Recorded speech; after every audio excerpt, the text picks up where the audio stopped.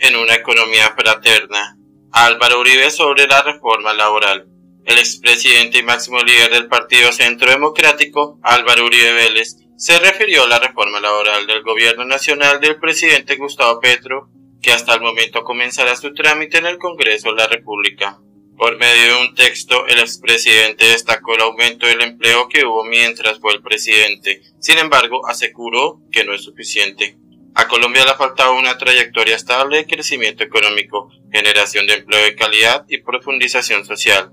Haber creado 8 millones de puestos de trabajo entre 2002 y 2023 no es mucho, y se agrava el panorama con la informalidad, pero tendríamos que preguntar qué habría pasado sin los fondos de cesantías y sin el ajuste de los horarios, expresó Uribe. Y reiteró el expresidente, sin el ajuste horario de 2002 que acompañó a la seguridad democrática y a los estímulos tributarios, habría sido imposible la creación de los empleos en tiendas de cadena, restaurantes, hoteles, hospitales, supermercados. No se puede olvidar que la misma Ley 50 que creó los fondos de cesantías elevó a delito la violación de la libertad sindical y aumentó la tabla de indemnización por despido injusto.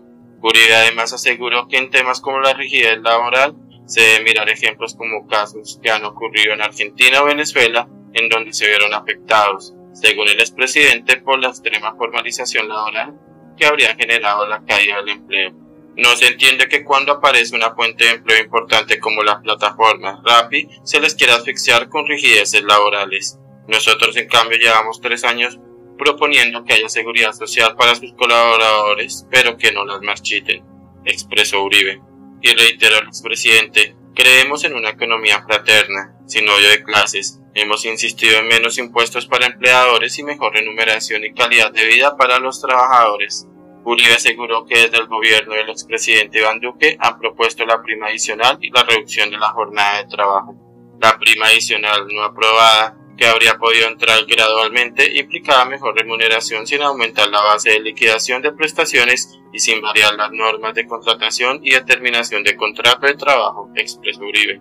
Y concluyó el expresidente, hay manera de hacer justicia en favor de los trabajadores sin apelar a normas que espantan el empleo y que solo son aplicables en enormes empresas transnacionales que además no las necesitan porque las obtienen a través de las convenciones.